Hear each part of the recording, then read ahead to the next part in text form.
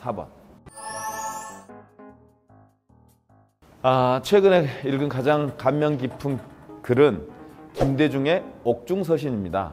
아, 제가 고등학교 때 읽었던 책인데요. 정말 많이 고등학교 때 읽으면서 많이 울었습니다. 근데 최근에 그 김대중 대통령의 막내 아들이신 김홍걸 어, 대표께서 그 책을 이 개정판이 나왔다고 선물해 주셨어요.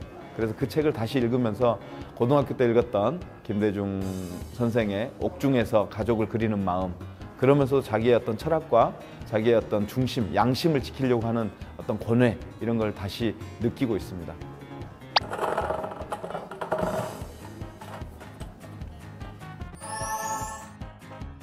지금 코로나19 전국에서 보- 국민들이 모든 국민들이 보여주듯이 간호사와 의사가 현장으로 튀어가지 않습니까? 국민들과 고난을 함께하고 그 고난을 극복하기 위해서 아, 시민들과 함께하기 위해서 현장을 달려가는데요. 저도 현장으로 달려가겠습니다. 근데 저는 현장에 필요한 전문가인지는 의문입니다. 그래서 현장의 전문가들을 지원하는 뒤에서 지원하고 어, 도와주는 그런 역할을 맡고 싶습니다. 안녕하세요. 저는 어, 민주당 목포시 국회의원 후보 김원희입니다. 목포 시민 여러분 반갑습니다. 저는 7급 비서에서 어, 차관급 서울시 부시장까지 오른 유일한 사람입니다. 지난 23년의 공직 생활 동안 중앙당, 국회, 청와대, 중앙정부, 지방정부에서 일했습니다. 아, 그 23년의 공직 기간 동안 많은 경험과 많은 인맥을 쌓았습니다. 그 인맥을 가지고 새로운 목표를 만들겠다고 도전하고 있습니다. 이 변화를 이끌 적임자 아, 민주당 집권여당 민주당의 후보 53세의 젊은 후보 김원희입니다.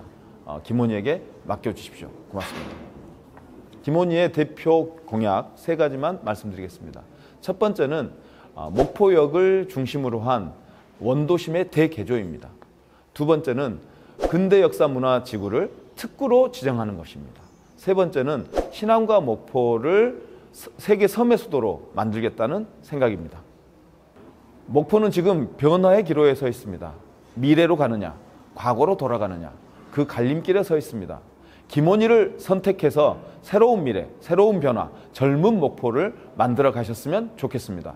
민주당과 함께 해야 성공합니다. 새롭고 젊은 후보 김원희를 선택해 주십시오. 파이팅!